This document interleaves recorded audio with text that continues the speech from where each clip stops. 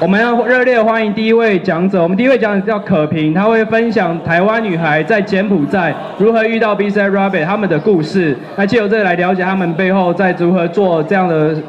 的过程中，如何做一些公益，然后如何做一些呃，除了永续经营的概念在里面。让我们热烈欢迎他。谢谢谢谢，大家好，嗯，我是可平，然后嗯，我现在呢就在 B C Rabbit。哎，这是我的第一张同片吗？这这张不是对，对，然后呢，这个呢是我们我在 BCI，这就是我们刚刚有提到那个 BCI 那个公正的法官的图图，然后在九分钟宝贵九分钟里面，还是要请大家花一点时间来看一下影片，他那个灯麻烦一下。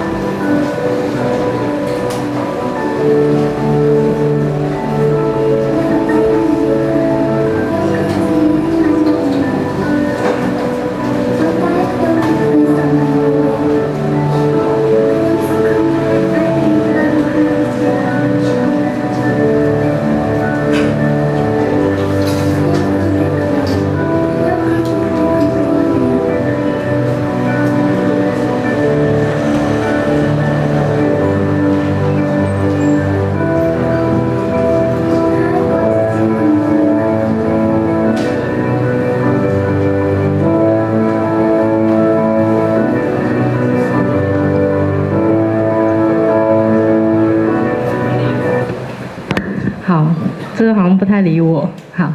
嗯，其实呢，这像刚刚看到那小朋友，他其实就十几岁而已。在我只有十几岁的时候，我跟他一样，我从小就是喜欢画画，然后从小拿起笔就开始疯狂一直画，一直画，画到我妈就受不了，然后就觉得说，就把我送去嗯上什么绘画班啊、才艺班啊等等之类的。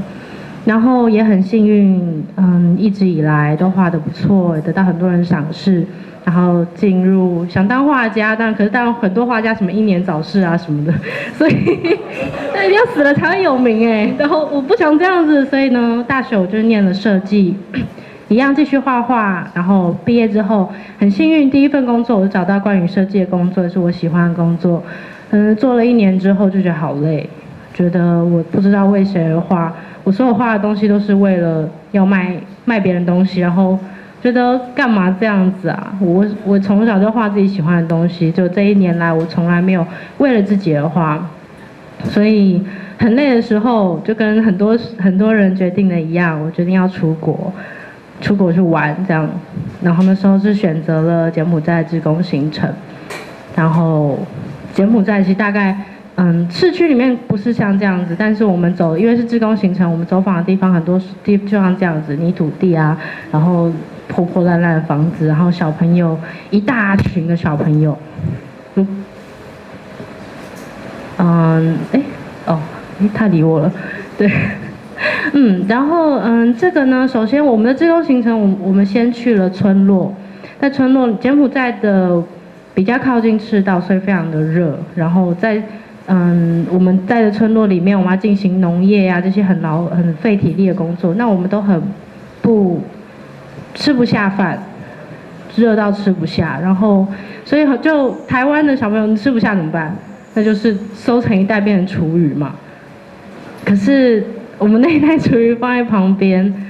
就有小朋友来抢着吃，他们就拿我们用过的汤匙丢在旁边，已经准备做成垃圾要带回去饭店里面丢的东西，就把那一袋厨余就是抢着吃完。然后我们看就什么？他刚刚是在。吃我们的厨余吗？然后就想说，我们是做了什么事啊？就是这么让他们这样子抢我们的东西吃，这样。然后隔天是要去孤儿院，我们就想说，我们好像还会碰到一些这么可怜的小朋友。当天晚上大家就很沉重，整个有在车上大家都有不讲话。但是很惊讶的是，到了孤儿院之后，所有小朋友看到我们就好开心哦，他们就这样蹦蹦跳跳就冲过来，然后要抱我们，然后牵着我们，然后就一人就一人带着我们带着一个，然后他们孤儿院其实超小，然后就大概就跟这个场地差不多大，但他就是拉着我们。到处看，就是说告诉我，这是这是我们自己养的猪，这是我们的房间，然后我的房间很，就是我们的房间，你要脱鞋才可以上去哦，这样子，然后就是展现所有他们一切拥有的东西给我们看，然后拿出从他们空空的柜子里面拿出他们自己编的手环，拿出一张烂烂的色纸，然后这是他们拥有的东西，通通都说送给你，送给你，因为我好喜欢你，然后。就陪着他们一整个一整个下午就在园区里面玩这样，然后玩到累了，我们就坐在地上。那坐在地上不知道干嘛，因为我们刚刚语言不同，他们讲节目在话，我们讲国语，然后翻译只有一位，根本就没有人可以一小朋友没有办法。然后他但是他就画了，他就直接用手指啊，用树枝就在地上画了。你刚刚有提到嘛，我们的气球，然后画说，我最喜欢 Angry Bird，Angry Bird 好可爱。所以他就画一个 Angry Bird，他告诉我我喜欢 Angry Bird。这时候我发现说，哎，其实他们跟我有的天赋是一样的。我在跟他们一样大的时候就是这样，我拿着笔，我在墙上画，然 后在地板上画，在所有我看得到、拿得到的纸上面画。可是他们只能像这样子画在地上，然后没有没有其他的选择，然后让我们看到。然后，于是回来看像画这样，这是我们的兔兔这样子，我们的。所以，嗯，回到台湾之后，嗯，就是又继续工作了一段时间，然后遇到了娜塔莎他们，对，然后他们就是找我，嗯，一开始就是，一开始真的只有帮忙而已，嗯，帮忙他们去到台东的书屋，然后去。去看小朋友的生活，然后设计一款我们现在身上的这些 T 恤，这样，这图案也都是小朋友画的。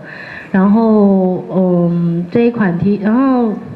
我刚刚讲什么？对，然后嗯，我们就设计一款 T 恤，然后一开始的时候，其实这一群这个孩子的书，他们非常的，我还觉得蛮感动，因为他们并没有。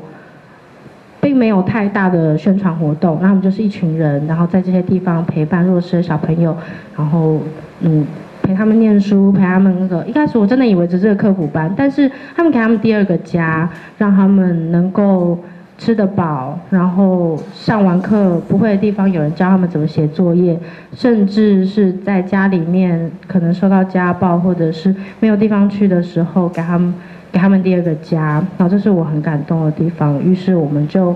嗯，这个月兔兔衣的话，这款是白色，然后身上是蓝色的这样子。嗯，哎，对，那我觉得很棒的一件事情就是这一款 T 恤是我们，嗯，是我们。一开始的就是经典兔兔衣，然后我们现在有两条线，一条就是这一款。那他们我们每卖出一件 T 恤，就会捐两百二十一块回到嗯柬埔寨孤儿院，然后让他们能够嗯借由这笔钱去买一些他们需要的东西。然后另外的话就是这一款就身上的，那我们也是每卖出一件就会捐出两百二十一块的兔兔衣给孩子的书屋，然后也是只稍微资助他们一点。那说真的，一件 T 恤两百二十一块，能够为他们，如果他们能够买什么东西，其实很少。但是有一件衣服，有一个说故事的机会，甚至你如果今天我穿在身上，我能够分享一个这样简单的故事给你们，然后有人穿在身上，他可以分享个简单的故事给别人。那越来越多人知道这件事情，越来越多人去关切这个问题。然后越来越多人能够发现说，哎，我能够为他们做一点事，就只要这么一点点的事情就好。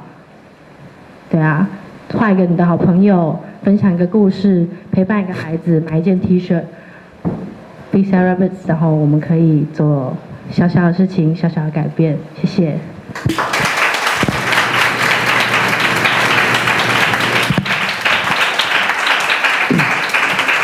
我觉得每一件穿在身上的衣服，一定代表他的故事。尤其像他们在做 B C Rabbit 穿的时候，也跟人家分享说，这件衣服它背后的故事在做什么。尤其在做公益的时候，他们除了扣掉成本以外，剩下钱就可以捐到那个柬埔寨去改善那样。尤其借由刚才借由他的介绍，也许你错过上个月的 Natasha 的分享，但你今天听了可平的分享，就知道说，呃，他的天赋是跟柬埔寨那柬埔寨小朋友跟我们天赋是一样，但是他的。资源是很缺乏的，那我们如何让合作部分让这个可以改变彼此的生活，让他可以过得更好？